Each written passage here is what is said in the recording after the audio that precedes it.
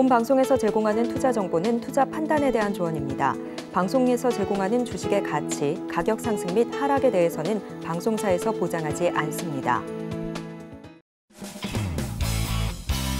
시청자 여러분 안녕하십니까? 깊이 있는 insight로 여러분들의 투자를 잘 이끌겠습니다. 저는 강관우입니다. 저는 이혜은입니다. 간밤에 미국 증시 1, 2%의 하락 마감했습니다. 지방으로 지방으로 분류되는 그 퍼스트 리퍼블릭 은행이 다시 한번 문제를 야기시켰는데요. 예금이 40%나 빠졌답니다. 덩달아서 은행 지수 4% 빠졌고요. 우리나라 관련만은 마이크론 테크놀로지 2% 빠졌고 테슬라도 1% 정도 빠졌습니다. 미국이나 우리나라 지금 하락 국면인 것 같습니다. 네, 미국 시장도 참 힘들게 흘러가고 있는 상황입니다. 우리 시장에도 계속해서 영향을 줄 수밖에 없기 때문에 오늘 증시팔 더욱더 열심히 눈에 불을 켜고 시청하셔야 되지 않을까 싶은데요. 유튜브 통해서도 시청하실 수가 있습니다. 유튜브에 서울경제TV 검색해 주시면 실시간 방송 중인 화면 들어오실 수가 있고요. 혹시 뭐 운전 중이시라거나 한다고 해도 아, 유튜브 통해서 틀어놓고 귀로 시청하시면서 운전해 나가서 출근하시면 될 것 같습니다. 자, 그런 만큼 저희 계속해서 귀를 열고 눈을 열고 봐도 좋을 만한 내용들 준비하고 있으니까요. 서울경제TV의 많은 관심과 사랑, 구독과 좋아요도 함께 부탁드리도록 하겠습니다. 자, 오늘 증시 팔도 우리 증시도 파이팅입니다. 화이팅!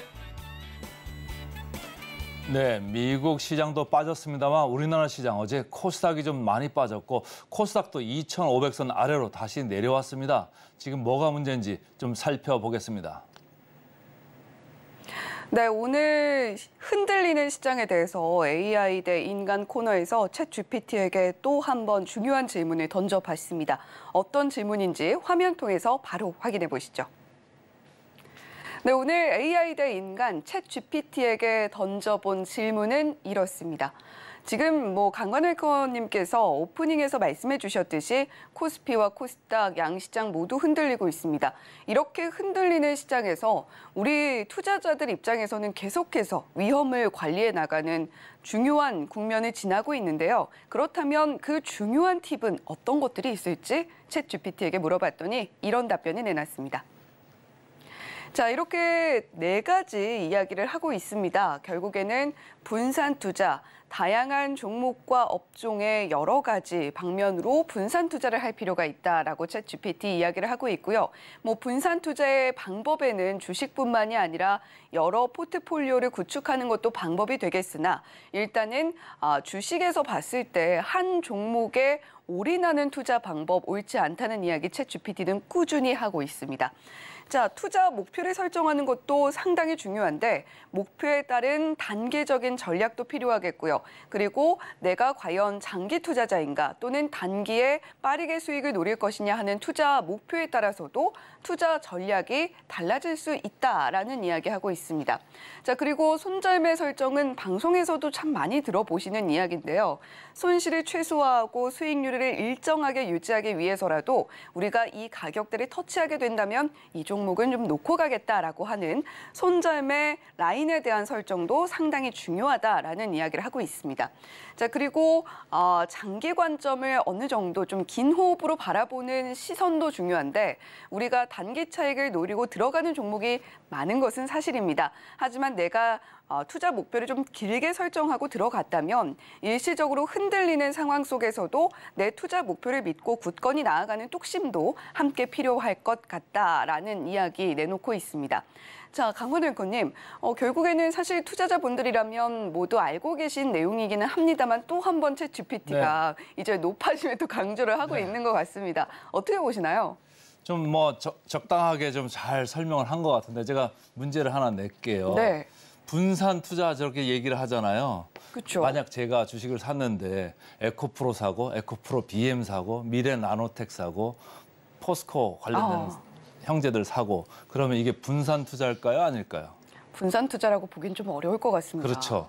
한 테마, 한 업종에 이렇게 같이 들어가는 거는 아무리 여러 종목이나 그런 걸 사더라도 제가 볼 때는 분산 투자 아닌 것 같습니다. 그런데 최근에 이런 게 좀 문제가 되고 있고 앞으로도 더 될 수가 있다. 그래서 오늘 이제 AI다 인간 좀 풀어 나가는 나가겠는데요. 제가 볼 때는 이겁니다. 하락이 하락을 부르고 있다. 이게 지금 이렇게 되면 악순환으로 들어가는 거거든요. 악순환이 들어가면은 반대 매매 가능성이 있습니다. 그러니까 신용을 쓴 분들이나 CFT 계좌를 활용하는 분들은 잠을 못 이룰 수도 있다. 이런 생각을 하면서 오늘 이제 코너를 시작을 하겠는데요. 어제 또 보시죠. 또다시 하한가가 여섯 종목이나 나왔습니다. 저희가 어제 방송할 때 하림 지주 그나마 낮고 CJ 그나마 낮다 이렇게 말씀하셨고 말씀드렸고 다른 것들은 어제도 바로 하한가로 꽂혀버렸습니다. 바로 직행을 했는데요. 지금 보시면 여러 가지 회사들이 전체적으로 쭉 올랐다가 그냥 번지 점프를 하면서 내려가고 있습니다. 이쯤 되면은 반대 매매 걱정되는 거거든요. 과거에 아케, 아케고스 캐피탈이 망할 그 망할 때도 이런 반대 매매 때문에 망한 거예요. 어. 증권사들까지 같이 염려가 됐다 그랬는데 결국은 크레딧 스위스 여기도 그때 문제가 이게 연루됐던 증권사거든요. 결국 증권사가 망했습니다. 그래서 조금 자세히 좀 보셔야 되는데 그다음 그림을 하나 보시면 금융감독원장입니다. 검사 출신이잖아요. 그래서 B2 이거 찬찬히 보겠다. 그리고 뭔가 불공정 거래 있으면 엄단을 하겠다. 이렇게 이제 목소리를 냈습니다. 아무래도 이제 금융감독 당국은 조금 늦게 오는 경우가 있어요. 그래서 조금 그거를 좀 먼저 빨리빨리 진행되걸 되는 거를 기대하기는 좀 힘든 거는 같지만 어쨌든 개인 투자자 개인 개인이 그런 신용이나 위험 리스크 이런 걸 조금씩 줄여 나가실 필요가 있다. 그리고 어떤 종목이 과연 비투가 많은 종목이냐 이걸 좀 세세히 발라 보셔야 될 건데 저희 증시팔이 대신 좀 발라 드리겠습니다. 자 하나씩 좀 보실까요? 어제도 말씀드렸습니다. 신용 잔고 높다. 그런데 코스닥 시장 너무 높다. 그리고 어제 말씀드린 게 코스닥 시장 신용 잔고 사이즈로 봤을 때는 뭐 비슷하게 보이지만은 시장 사이즈로 봤을 때는 다섯 배나 차이 나는 다섯 배나 나- 작은 코스닥인데 신용 잔고는 오히려 코스피보다 더 높다. 개인들의 비투 걱정된다라고 제가 어제 말씀드렸습니다. 자, 어떤 업종이나 어떤 곳에 몰려가 있을까요? 하나씩 보죠.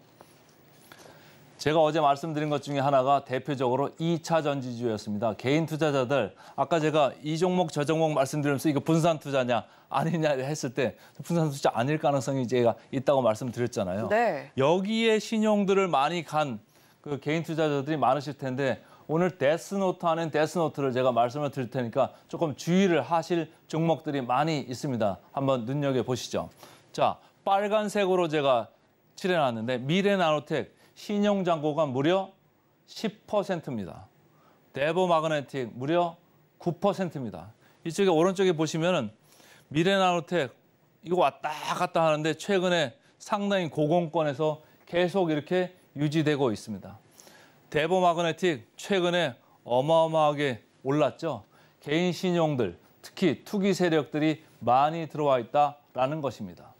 왼쪽에 보시면 에코프로비엠, 에코프로 어제도 말씀드렸는데 다행히 신용잔고가 그렇게 높지는 않다. 1.9%, 1.5%이 정도다. 그런데 2차 전지 중에서는 미래나노텍, 데보마그네틱 이쪽은 조금 조심을 할 필요가 있다. 이렇게 이제 숫자는 얘기를 해주고 있습니다. 그다음 또 차트를 보시면 여러분들이 또 열심히 달려갔던 포스코 그룹주입니다. 저희가 계속적으로 경고를 드린 두 종목이 있어요. 포스코 스틸리온, 포스코 DX. 덩달아서 오르는 주식들은 그냥 팔아라. 팔고 잊어라. 제가 말씀을 드렸었는데 포스코 스틸리온 신용잔고율이 무려 5%입니다. 이쪽 보세요. 이쪽. 이 빨갛게 딱 이렇게 치어들은 그 주식이 바로 포스코 스틸리온입니다. 어. 저런 주식들은 과감히 좀 줄이셔야 됩니다. 최근에 주가가 많이 올랐다가 다시 밀리고 있는데 지금도 높은 주가일 수 있거든요. 그래서 숫자는 말합니다. 조금 어, 주목을 하셔라. 그 다음 보시면 태양광 풍력입니다.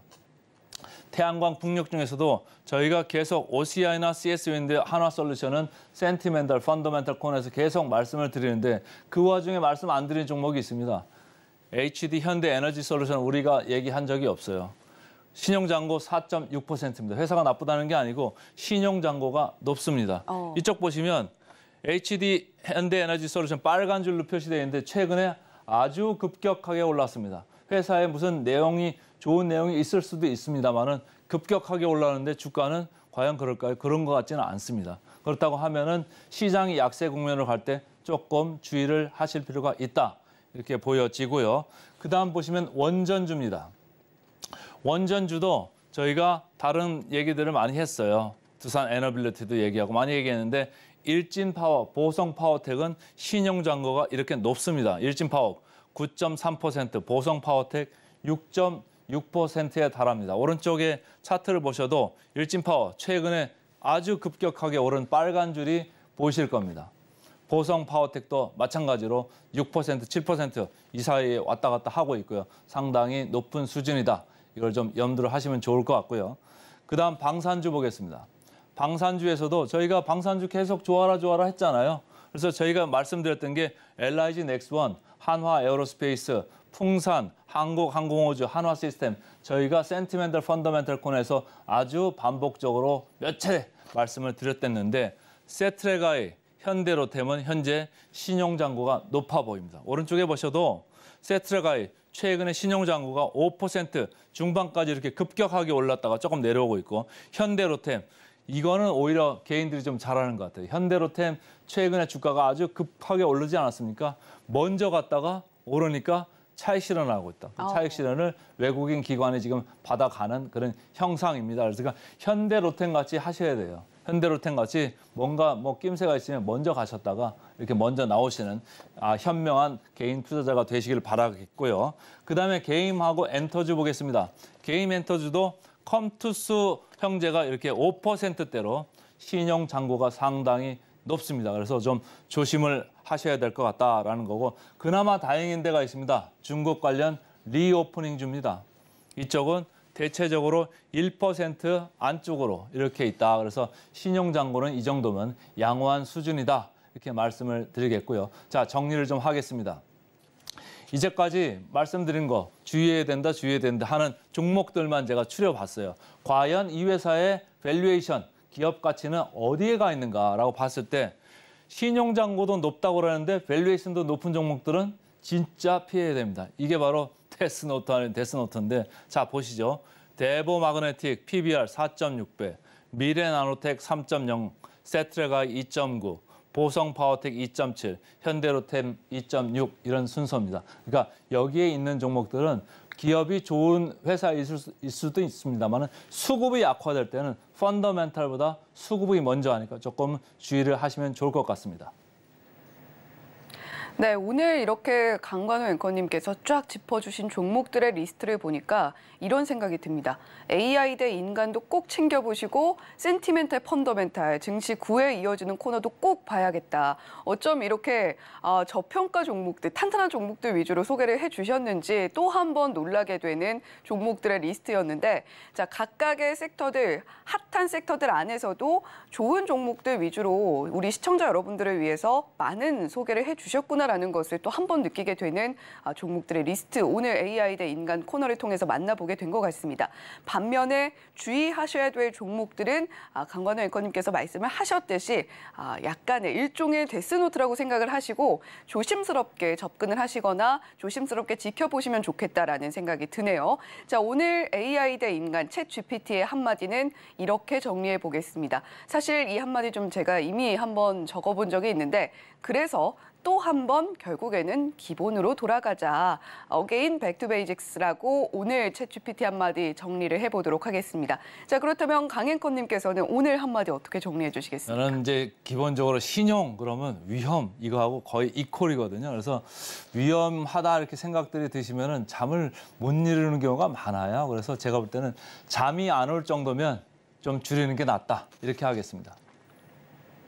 네, 잠이 안 올 정도면 종목을 줄이는 것이 맞다라는 것으로 오늘 AI 아, 대 인간 강관우 앵커의 한마디까지 정리를 해봤습니다. 자 이렇게 오늘도 종목들 많은 종목들 소개를 시켜드리면서 저희가 AI 대 인간 아, 우리 시청자 여러분들께 도움될 만한 내용으로 정리를 해드렸는데요. 잠시 후에 증권사 리포트 짚어드리는 시간으로 다시 돌아오겠습니다.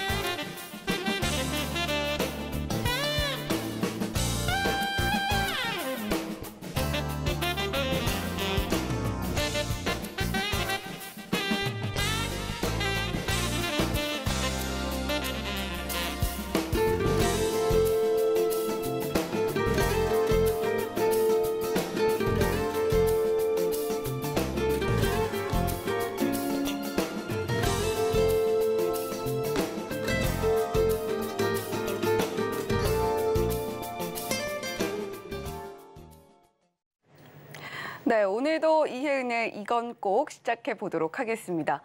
자, 오늘도 우리 시청자 여러분들을 위해서 두 가지 종목을 가지고 왔는데 어떤 종목이 첫 번째 종목인지 화면 통해서 바로 만나보시죠.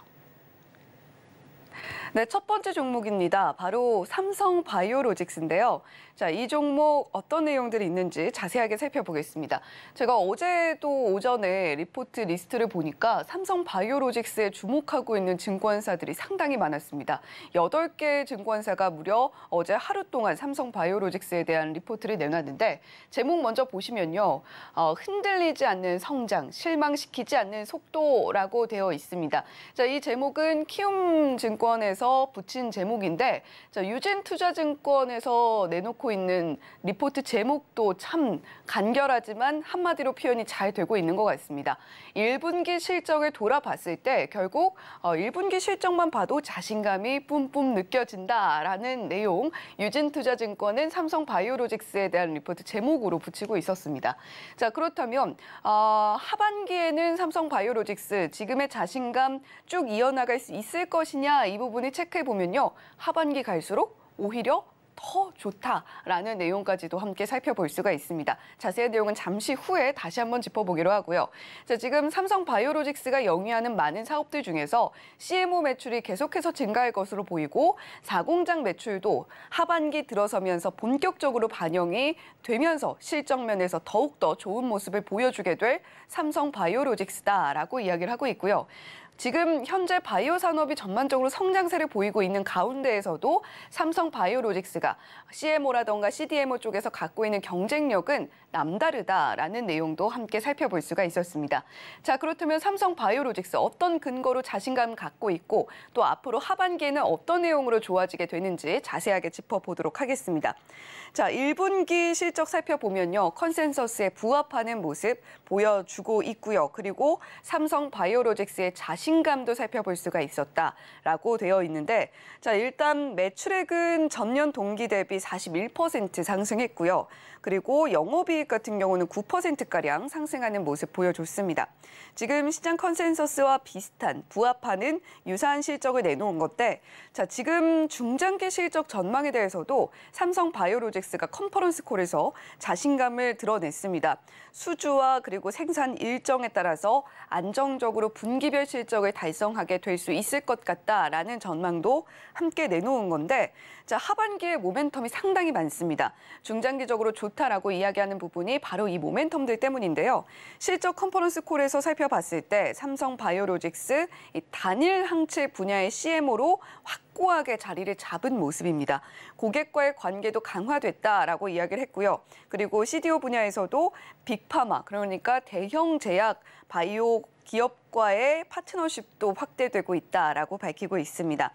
아, 사공장 말씀도 드렸었는데 사공장에서의 상업화 물량이 본격적으로 생산이 되게 된다라고 한다면 매출액이 1조 원 이상 증가할 것으로 보이고요. 물론 2023년 예상 매출액 대비입니다. 그리고 영업이익률은 35%를 넘는 고수익이 지속될 것이다 라고 전망을 하고 있습니다. 앞서서 짚어드렸던 이번 1분기 영업이익은 전년 동기 대비 9% 증가하는 모습 보여줬는데 여기서 35%가 증가가 한다, 증가를 한다 라고 한다면 굉장히 좋은 모습 이어갈 수 있다라는 것이겠죠. 자, 이렇게 삼성 바이오로직스에 대한 이야기들 하반기 들어서서 더욱더 좋아질 것이다 라고 체크를 해보시면 되겠고 지금 어, 미국 FDA 승인을 받은 바이오시밀러 약품도 있습니다. 그런 만큼 계속해서 삼성 바이오로직스 지켜보시면 좋겠다라는 생각이 들고요. 증권사에서 제시하고 있는 투자 의견 매수고요. 목표 주가의 밴드는 좀 다양했는데 그중에서도 좀 높은 편입니다. 목표 주가 는 110만 원 유지한다라고 밝히고 있습니다. 자, 그 이렇게 첫 번째 종목으로 삼성 바이오로직스 살펴봤고요. 두 번째로 살펴볼 종목은 바로 이 종목입니다. 네, 이번에는 HD 현대 일렉트릭 살펴볼 텐데요. 어, 이번에 실적이 나왔는데 서프라이즈라고 표현을 하고 있습니다. 그런데 이 서프라이즈를 보여준 1분기 실적이 바닥이다라는 제목이 붙어 있습니다. 우리가 늘 종목을 볼 때 바닥에서 사서 어, 무릎에서 사서 어깨에서 팔자라고 이야기를 하곤 하지만 바닥에서 산다면 더욱더 좋겠죠. 모두가 바닥에서 매수를 하기를 꿈꿉니다. 어, 그런데 실적도 좋고 1분기가 바닥이라면 어떤 근거로 이야기를 하고 있는지 지금 글로벌 초호황 사이클 보여준 1분기다라고 되어 있는데 지금 뭐 전력 인프라 관련해서 계속해서 어, 여러 가지 좋은 모습을 보여주고 있는 현대 일렉트릭입니다. 아, 작년 수주액은 전년 대비 60% 급증을 했는데 지금 뭐 신공장에 대한 이야기도 나오고 있어요. 그런데 신공장을 굳이 어, 증설을 하지 않아도 이미 현대일렉트릭 모든 물량 맞춰줄 수 있다라는 이야기도 증권사 리포트 안에서 살펴볼 수가 있었습니다. 자 그렇다면 비용이 일단 굳었다고 보시면 되겠고 지금 미국 IRA 거기다가 중동에서는 친환경 도시를 건설하려는 움직임이 굉장히 활발하죠. 전력 인프라 당연히 필요할 수밖에 없습니다. 그런 만큼 아, 지금의 호황 초호황이라고 표현되고 있는 지금의 호황이 단 반짝하고 끝날 것이 아니라 조금 더 긴 호흡으로 이어질 가능성 현대 일렉트릭에 아주 좋을 수밖에 없다라는 내용입니다. 자, 자세한 내용 조금 더 지켜보도록 할게요. 자, 전력기기 산업이 초호황을 보였다라는 말씀을 드렸는데 올해도 한번 더 즐겨볼까 아, 지금 계속해서 지켜보고 있는 현대 일렉트릭입니다. 매출액은 전년 동기 대비 62% 증가하는 모습 1분기에 보여줬고요. 영업이익이 이 부분이 참 놀랍습니다. 177% 상승하는 모습을 보여줬는데 지금 뭐 컨센서스 매출액과 영업이익을 각각 높게 잡았음에도 불구하고 11%, 13, 31% 상회하는 서프라이즈, 어닝 서프라이즈를 보여줬습니다. 거기다가 신규 수주 1분기에만 8억 달러 수주 기록을 했고요. 어, 연간 가이던스를 상향을 했는데 이것도 역시 보수적이다라는 판단이 함께 나오고 있다라고 합니다. 자, 이번 호황 사이클 굉장히 강하고 또 길 것으로 보여지고 있는데 자, 지금 현재 업황에 대한 대응은 현대 일렉트릭이 원활하게 하고 있는지 그리고 어, 수주나 납기의 병목 현상은 없는지 이런 부분들을 굉장히 많이 어, 우려하고 계신 것 같은데 시장이 호황이 계속되고 또 과거에는 한 12개월, 1년 정도 어, 호황이 이어질 것이다라고 봤는데 이번에는 최대 5년까지도 좀 보는 시각이 있는 것 같습니다. 자 따라서 앞으로 어, 북미권뿐만이 아니라 중동 그리고 유럽 시장 회복도 가세하고 있는 상황에서 HD 현대 일렉트릭 좋아질 수밖에 없다라는 관점 유지를 하고 있는 거고요. 자 그리고 이런 이야기를 하고 있습니다. 마지막에 어, 1분기 서프라이즈 기록했지만 실적은 연중 1분기가 바닥일 것이다. 호황을 즐기자라고 제시를 하고 있더라고요. 자, 따라서 투자 의견은 매수고요. 목표 주가 6만 6천 원으로 상향한다라는 의견입니다. 지금까지 이혜은의 이건 꼭 전해드렸습니다.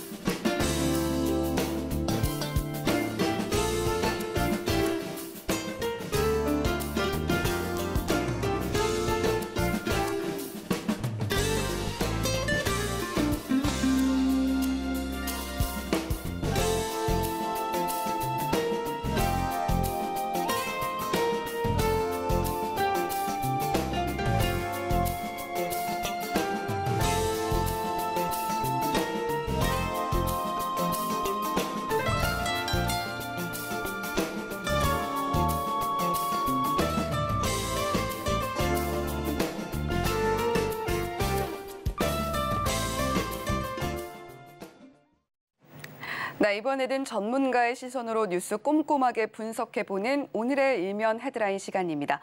오늘은요, 루크투자 연구소의 임순재 대표님과 함께 볼게요. 대표님 어서 오세요. 네, 안녕하십니까? 네, 대표님 오늘도 우리 시청자 여러분들을 위해서 헤드라인 꼼꼼하게 살펴주신 걸로 알고 있는데 자, 오늘 어떤 헤드라인 가지고 오셨는지 화면 통해서 먼저 만나보겠습니다. 네, 오늘의 헤드라인입니다. 현대차 매달 1조 넘게 벌었다. 어, 사실 요즘에 시장이 좀 흔들리고 있어서 어떤 종목들 봐야 될까 걱정하시는 분들도 많으실 것 같고 좋은 뉴스를 기다리시는 분들도 많을 것 같은데 오늘 좀 기분 좋은 소식이죠. 네, 그렇죠. 일단 뭐 어, 어, 이번 주서부터 이제 어, 1분기에 기업 실적들이 이제 보고가 되고 있는 그런 상황이다라고 보시면 될 것 같고요. 네. 뭐 삼성전자를 비롯한 이제 IT 관련된 업종들에 대한 이제 실적 부진에 대한 우려가 커져 있는 그런 상황인데 상대적으로 이제 수출이 잘 되고 있는 자동차 분야는 높은 그런 이제 성장세를 이어가고 있다라는 그런 측면에서 좀 보시면 어떨까 싶습니다. 뭐 현대자동차는 어저께 이제 실적 발표가 나왔습니다. 뭐 실적 발표 매출은 37조 어, 7, 8천억 정도 해서 전년 대비 한 25% 가까이 상승을 했고요. 네. 그다음에 영업이익 같은 경우도 지금 3 3조 5,927억을 기록을 하면서 전년 대비 86%를 아, 상승하는 그런 모습을 보였습니다. 뭐 현대차 같이 이렇게 이제 큰 기업이 영업이익이 80% 이상 증가한다라는 게 뭐 쉽지 않은 그런 일이다라고 보시면 될 것 같고요. 그렇죠. 뭐 분기 실적으로는 역대 최대 실적을 기록을 하는 만큼 좋은 그런 실적을 보였다라고 보시면 될 것 같습니다. 특히 이제 고부가가치 차종에 대한 이제 판매가 호조를 보이면서 관련된 그런 실적이 좋아졌다라고 보시면 될 것 같은데요. 지금 화면에서 보시다시피 현대차의 고수익 차종, 뭐 대표적으로 제네시스나 아니면 SUV 같은 차종을 뭐 생각을 하시면 될 것 같습니다. 여기에 뭐 전기차까지 포함된다라고 보시면 되는데요. 어, 장, 어, 이번 1분기에 57.8%를 기록을 했습니다. 그러니까 전체 차종의 10대 중에 6대는 고급 차종이다라고 보시면 될 것 같고요. 특히 2021년도에 48%에 비해서 뭐 1년 동, 어, 2년 동안 한 9%포인트 이상 증가를 했다라고 보시면 될 것 같습니다. 뭐 이렇게 이제 고수익 차종이 증가를 하면서 영업이익률도 상당 부분 개선되는 그런 모습을 보였는데요. 어, 이번 1분기의 영업이익률은 9.5%를 기록을 했습니다. 어, 화면에서 보다시피 2021년도에 6%, 그다음에 2022년도에 6.4%에 비해서 상당 부분 개선되고 있는 그런 모습을 보였다. 라고 보시면 될 것 같고요. 뭐 9.5%다라고 하게 되면 자동차 회사 중에서도 비교적 좋은 그러니까 글로벌 전체적으로도 상당히 좋은 이제 영업 성 그러니까 이익률을 기록을 했다. 라고 보시면 될 것 같습니다. 네. 뭐 이런 이제 영업 이익률을 받, 뭐 3조 한 6천억 정도 되는 영업 이익률을 기록하다 보니까 올 아마 그 1분기에 상장사 중에서 어, 가장 많은 뭐 분기 영업 이익을 기록한 그런 이제 회사로 등극을 하게 됐다 라고 보시면 될 것 같습니다. 네, 현대차가 사실 실적이 놀라울 것이다. 이야기는 많이 들으셨을 겁니다. 막상 이렇게 실적이 또 나오니까 아 정말 놀라웠구나. 그리고 올해 상장사 중에서 1위를 차지할 정도로 현대차 정말 좋았다라는 것을 임순재 대표님께서 상세한 데이터와 함께 짚어주셨습니다. 자, 하지만 지금 뭐 IRA의 그 지원금을 받게 되는 차종에선 제외가 됐다라는 소식도 한때 좀 우려감을 키웠었잖아요. 이런 부분은 저희가 좀 어떻게 받아들여야 될까? 이것도 함께 체크는 해야 될 것 같습니다. 네, 일단 뭐 IRA 관련돼서 상당히 좀 민감하게 반응 한다라고 보여지는데요. 뭐 자동차 중에서 특히 이제 현대차 같은 경우에 전체 차량 판매 대수 중에서 한 10%안 되는 금액이 이제 전기차에 관련된 부분이다라고 보시면 될 것 같습니다.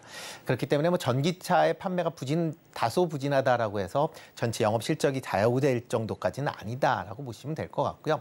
뭐 회사 입장에서도 IRA 법안에 대해서 상당히 이제 중요성을 충분히 인식을 하고 있는 그런 상황이다라고 보시면 될 것 같고요. 네. 그렇기 때문에 미국 내에서 IRA 법안 으로 인해서 보조금을 못 받는다라고 하게 되면 상대적으로 이제 틈새 시장이 있습니다. 어. 어, 상업, 상업용과 그다음에 리스 이런 이제 쪽으로 어, 전기차를 판매를 한다라고 하게 되면 보조금 수혜가 가능하다. 라고 보시면 될 것 같고요. 어, 그러다 보니까 현대차 입장에서도 보면 그쪽으로 좀 집중하고 있는 그런 모습을 좀 보이고 있습니다. 어, 작년 기준으로 본다라고 하게 되면 상업용이나 리스 관련된 어, 전기차의 판매 비중이 한 5%에 불과했습니다. 네. 그렇지만 이번 1분기에는 35%될 때까지 어, 늘려놨다라고 얘기를 하고 있고요. 이 정도가 된다라고 하게 되면 전기차 IRA 법안에 따른 전기차 판매 부진을 어느 정도 만회할 수 있는 그런 수준이다라고 보시면 되기 때문에 이런 IRA 관련된 법안에 대해선 너무 걱정을 안 하셔도 되지 않을까라는 생각을 해보고 있습니다. 네. 자, 물론 IRA 지원금 수혜 여부가 밝혀, 발표가 되자마자 현대차와 기아 주가 함께 좀 흔들리는 모습 보여줬습니다만 현대차와 기아 차종만 제외된 것이 아니라 많은 또 전기차들 모델이 함께 제외가 됐고 현대차도 이에 발맞춰서 어, 상업용이라던가 리스라던가 틈새 시장 공략에 열을 많이 올리고 있고 어, 앞으로 그렇게 해 나갈 것이다라는 구상도 함께 밝히면서 그 여파는 좀 적을 것이다라는 내용 나와 있습니다. 자 그렇다면 또 이 부분도 짚고 넘어가야 될 것 같은데 자, 지금 SK온과 손을 잡았어요. 네, 그렇죠. 네, 뭐 SK온하고 이제 미국에서 이제 배터리 공장을 만든다라는 네. 거고요. 그다음에 국내에서도 지금 SK온이 배터리 공장을 이제 확장을 할 걸로 이제 예정이 되어 있습니다. 단 뭐 현대차하고 기아에 이제 납품하는 그런 이제 배터리다라고 보시면 될 것 같고요. 특히 이제 어저께 이제 발표된 거는 이제 SK온과의 미국 내 배터리 공장을 이제 최종적으로 진, 승인, 그러니까 이사회에서 승인을 했다라는 소식입니다. 뭐 일단 뭐 지금 뭐 화면에서 보신다.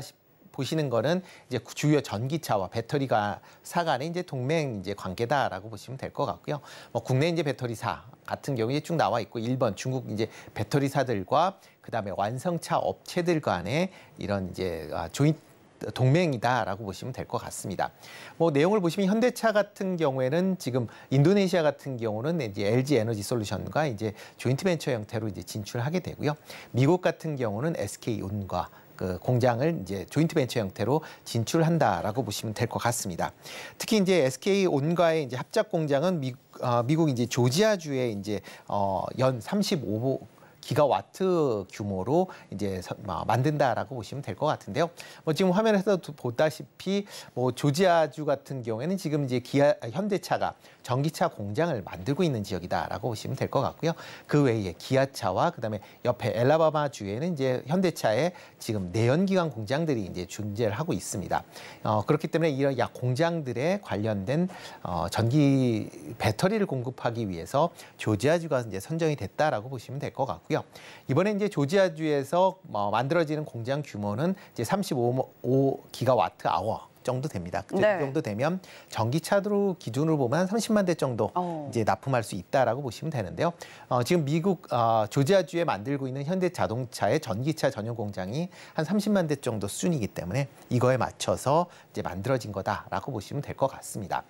어, 또 미국 같은 경우에 지금 뭐 전기차에 대한 확대 정책을 이제 계속 표시를 하면서 2032년도에는 신차 중에 67%를 이제 조, 이런 이제 전기차로 만들겠다라고 이제 얘기를 하고 있고요. 그러다 보니까 이런 지금 이제 SK 온가의 이제 어, 조인트 벤처 공장도 확대가 될 걸로 예상이 되고 있고요. 이와 더불어 LG 에너지 솔루션과의 어, 조인트 벤처에 관련된 부분도 아마 가능성이 높아졌다라고 보시면 될 것 같습니다. 네, 이렇게 좀 기민하게 움직여 왔고 또 그것이 아, 시장에서 드러나고 있는 현대차의 모습 임순재 대표님께서 상세하게 짚어주셨습니다. 자, 그렇다면 이 뉴스를 투자자의 입장에서 볼 때는 투자 키워드를 좀 잡아봐야 될 텐데 어떤 키워드 잡아보면 좋을까요? 네, 일단 뭐 자동차 완성업체들이 좋다라고 하게 되면 그거에 대한 낙수 효과다라는 걸 좀 감안하셔야 되지 않을까라는 네. 생각을 해보고 있고요. 그래서 관심 있게 보셔야 될 게 아마 자동차 부품 관련주 아닌가라는 생각을 하고 있습니다. 어, 일단 뭐 현대차, 그러니까 자동차 관련된 수출이 뭐 올 이제 어, 계속 좋아지는 그런 모습을 보이고 있습니다. 뭐 1월에서부터 3월까지 뭐 국내 완성차의 이제 수출 물량을 본다라고 하게 되면 아, 총 이제 172억 달러의 수출을 이제 보였다라고 보시면 될 것 같고요. 네. 특히 어, 지난 3월 달 같은 경우는 어, 65억 달러를 기록을 하면서 역대 최대 수출 물량을 기록을 했다라고 보시면 될 것 같습니다.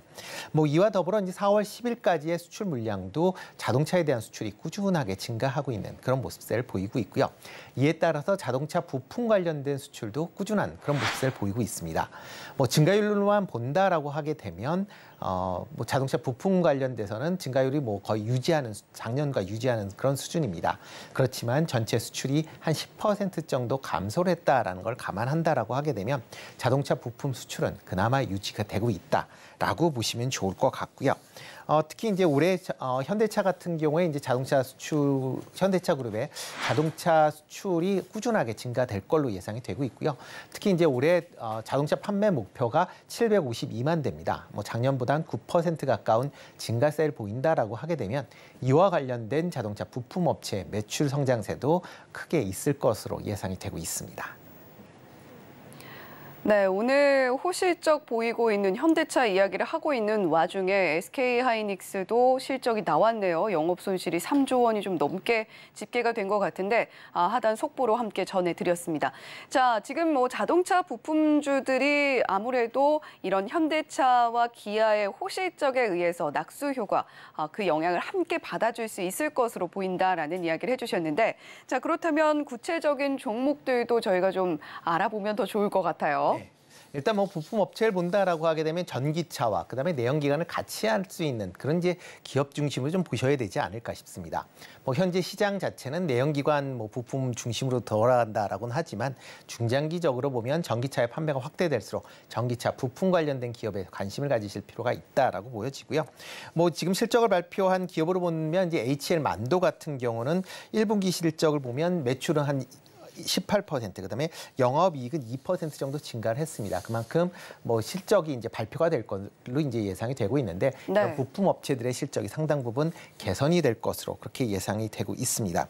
어 그래서 뭐 관심 기업을 본다라고 하게 되면 뭐 대표적으로 뭐 화신 같은 뭐 몇 개 이제 기업을 제가 이제 뽑아봤는데요. 뭐 화신 같은 경우는 이제 자동차용 이제 조향 장치를 이제 만드는 그런 기업입니다. 네. 뭐 보통 이제 구성품이 멤버나 컨트롤 암 같은 그런 이제 제품을 만들고 있는 그런 상황이고요. 뭐 현대차 그룹의 이제 내연기관뿐만 아니라 전기차 관련된 부품도 납품을 하고 있다라는 것도 조금 관심 있게 좀 보시면 어떨까 싶습니다. 어, 이 외에 최근에 이제 폭스바겐의 이제 전기차 플랫폼인 어, MEB에도 이제 무, 어, 부품을 납품하고 있다라고 이제 알려지면서 일단 전기차가 판매가 확대될수록 뭐 이런 매출 성장세가 기대가 될 걸로 예상이 되고 있고요. 특히 폭스바겐 같은 경우는 이번에 미국 IRA의 IRA 보조금에 포함이 됐습니다. 그렇기 어. 때문에 판매량이 좀 더 증가한다라고 하게 되면 관련된 실적에 대한 부분도 기대해 볼 수 있지 않을까 싶습니다. 이외에 또 보셔야 될 어, 관심 있게 보시면 좋을 게 이제 삼보 모터스 아닌가 싶고요. 뭐 자동차 변속기 관련된 부품을 생산하는 업체입니다. 그렇지만 이제 계열사를 통해서 자동차 내장재 관련된 부분도 같이 납품을 하고 있는 그런 상황이고요. 전기차에도 같이 납품을 하고 있기 때문에 그런 부분도 조금 관심 있게 좀 보시면 어떨까 싶습니다.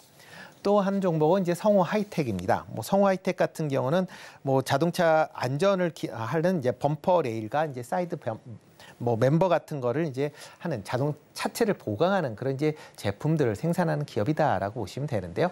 뭐 관련된 뭐 자동 차체 보강은 뭐 내연 기관뿐만 아니라 그다음에 전기차 관련 기업들도 관심 뭐 중요한 그런 부품으로 이제 일, 어, 새겨, 생각이 되니까 네. 그런 부분을 관심 있게 좀 보시면 어떨까 싶습니다. 어, 그리고 다음에 또 관심 있게 볼 게 이제 두올 같은 회사 좀 관심 있게 보시면 어떨까 싶은데요. 대표적으로 이제 에어컨 관련된 이제 에어백을 만들어가는 원단을 공급하는 회사다라고 보시면 될 것 같습니다. 뭐 현대 주로 현대차에 이제 납품을 하게 되는데요. 뭐 현대차 특히 이제 인도 시장 내에서 현대차의 판매가 꾸준하게 증가를 하고 있는 그런 모습 임세를 보이고 있습니다. 뭐 인도 시장에서 시장 점유율 한20% 정도 된다라고 이제 추정치가 나오고 있을 만큼 인도 시장을 상당히 공을 들이고 있다라고 보여지는데요. 인도 시장 내에서 어, 에어백에 대한 기준이 최근에 강화되고 있는 그런 추세를 보이고 있습니다. 기존에 앞좌석에 두 개만 어, 있으면 됐는데 이게 뭐 커튼과 사이드 지역까지 해서 총 여섯 개의 어, 에어백을 이제 의무 장착하게끔 올해 내에 아마 법이 바뀔 걸로 그렇게 예상이 되고 있는데요. 그렇다 보면 에어 에어백에 대한 수요가 증가한다라고 하게 되면 두올도 한번 관심 있게 보시면 어떨까 싶습니다. 이와 더불어 이제 전장용 관련된 부, 회사도 좀 관심 있게 좀 보시면 좋을 것 같은데요. 그 중에서 이제 텔레칩스 좀 관심 있게 보시면 어떨까 싶은데요. 차량용 멀티미디어 칩을 이제 어, 설계하는 그런 기, 어, 기업이다라고 보시면 될 것 같습니다. 특히 이제 차량용 이제 그 이제 대시보드에 들어가는 이제 그런 여러 가지 이제 인포테인먼트 관련된 그런 부분을 한다라고 보시면 될 것 같고요. 어, 최근에 이제 자, 자율주행 주행용 반도체 시장도 진출을 하고 있으니까 그런 점도 좀 관심 있게 보시면 좋을 것 같습니다. 네, 현대차와 기아가 보여준 호실적에 어떤 기업들이 함께 수혜받을 수 있는지까지 그 종목들도 함께 짚어봤습니다. 오늘 루크투자연구소의 임순지 대표님과 함께 이야기 나눠봤습니다. 대표님 고맙습니다. 네, 고맙습니다.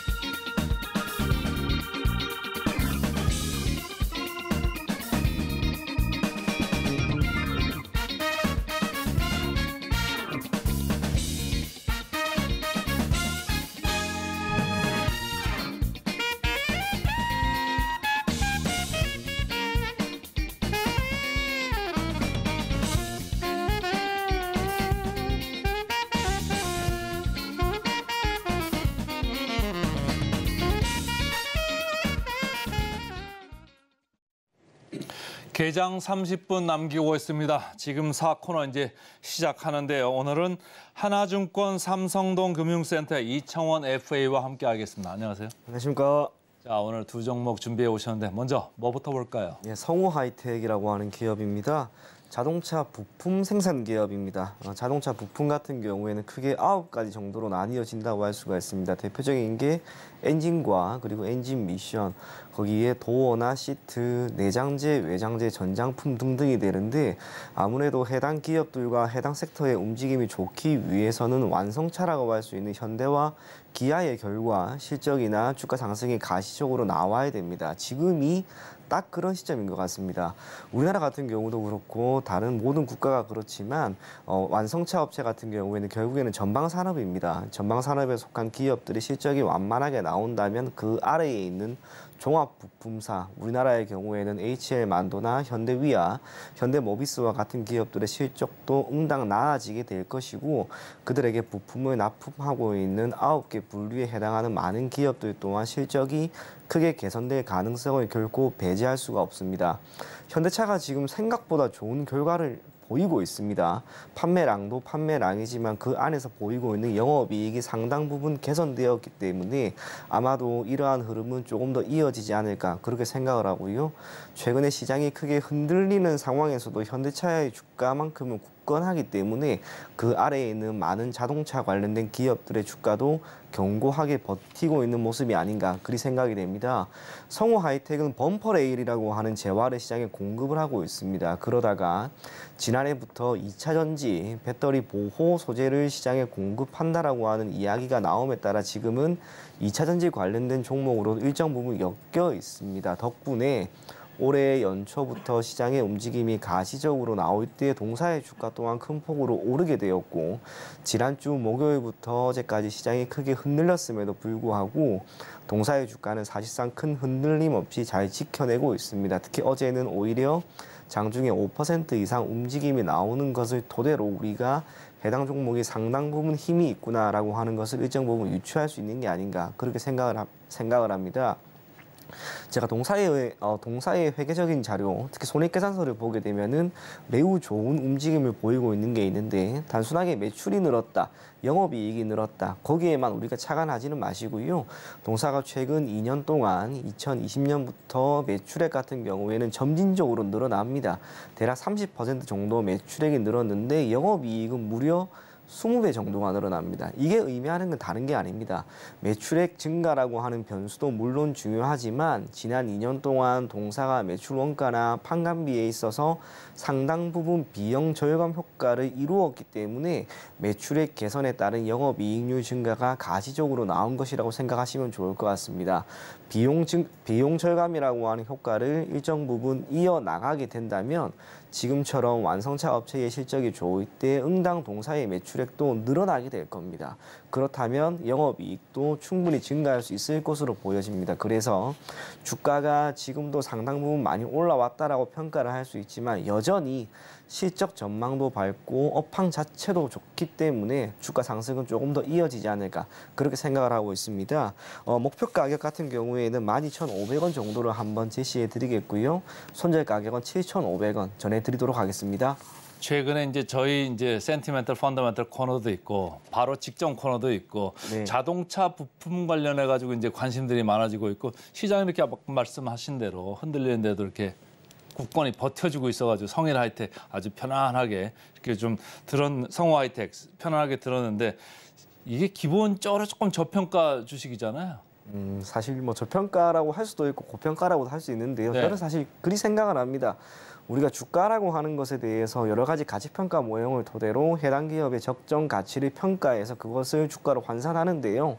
사실 주가라고 하는 것은 결국에는 지금 시점에서 거래되는 그 가격, 저는 그 가격이 한편으로 시장에서 그리고 해당 기업의 가치를 가장 명확하게 판단하고 또 평가하는 기준이 되지 않을까 그렇게 생각을 합니다. 그래서 저평가되어 있다라고 하는 이야기가 많이 도는 건 결코 나쁜 건 아닙니다. 긍정적으로 봐야겠죠. 오히려 그러한 긍정적인 면이 주가 상승을 더 기대할 수 있는 면으로 보여지기 때문에 성우 하이텍 너무 걱정하지 마시고요. 앞으로의 흐름을 계속해서 눈여겨볼 것을 권해드리겠습니다. 자, 여러분 성일 하이텍이 아니고 성우 하이텍입니다. 기억해 주시고요. 두 번째 종목 뭔가요? 네, 클래시스라고 하는 기업입니다. 어, 지난해 11월 정도였던 것 같습니다. 그때부터 조금씩 조금씩 시장에서 차지하는 비중 자체는 크지는 않지만 매우 조용히 올라가고 있는 섹터가 하나가 있었는데 그게 의료, 미용 관련 기기를 생산하고 있는 기업들이었습니다. 대표적으로 비올이라고 하는 기업의 주가 상승이 매우 가시적으로 나왔는데 그것 못지않게 최근에 클래시스라고 하는 이 기업의 주가 또한 견고한 움직임을 분명 보이고 있습니다. 다양한 브랜드 등을 토대로 시장에 재화를 공급을 하고 있습니다. 매출처는 세계 60여 개국의 대리점이 있고요. 국내 병원이나 뷰티샵 같은 경우 그리고 일반 소비자에게도 직접적인 재화를 공급을 해 나가고 있습니다.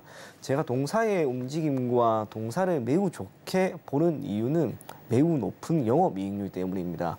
통상적으로 제조업 관련된 기업들의 경우에는 10에서 15%, 높을 경우에는 20% 정도면 영업이익률이 매우 양호하고 괜찮다라고 평가를 하는데 동사 같은 경우에는 45에서 50% 정도 수준의 영업이익률을 보이고 있습니다. 응당 그게 동사뿐만이 아니라 조금 전에 이야기했던 비올 같은 경우에도 40% 수준의 높은 영업 이익률을 보입니다. 이게 의미하는 것은 기업 자체적으로 회계적인 부분에서의 관리를 잘 하는 것도 있겠으나 업황 자체가 계속해서 성장기에 놓여 있기 때문에 나타나는 영업 이익률이 아닐까 그리 생각을 합니다. 그래서 앞으로도 이러한 영업이익률이 대략 20에서 15% 정도까지 떨어질 때까지는 저는 해당 산업과 해당 섹터는 조금 더 성장을 성장이 나올 것으로 생각을 하고요. 이에 따라 실적 개선도 뚜렷하게 나올 것이라 그리 생각을 하고 있습니다. 주가가 지난주부터 시장이 흔들릴 때 전혀 흔들리지 않은 기업입니다.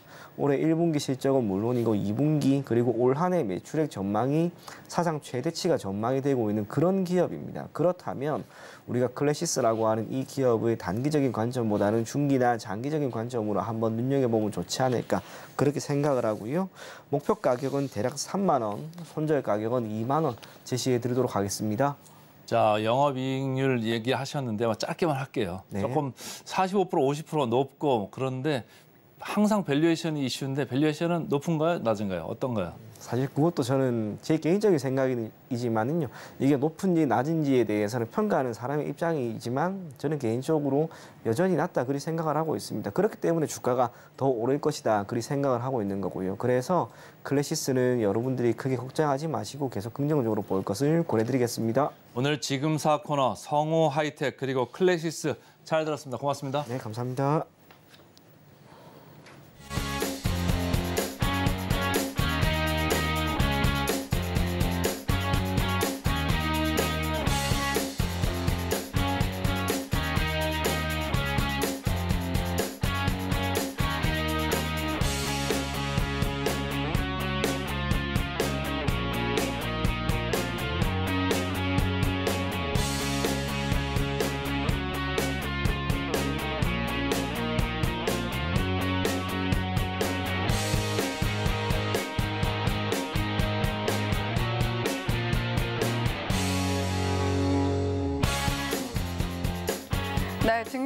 지금사 코너를 통해서 우리 시청자 여러분들 오늘 시장에선 어떤 종목 지켜보면 좋을지까지 함께 전해드렸습니다.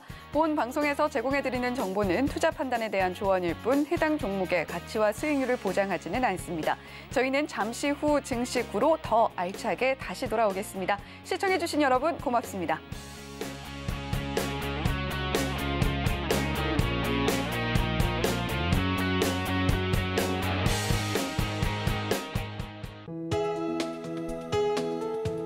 본 방송에서 제공하는 투자 정보는 투자 판단에 대한 조언입니다. 방송에서 제공하는 주식의 가치, 가격 상승 및 하락에 대해서는 방송사에서 보장하지 않습니다.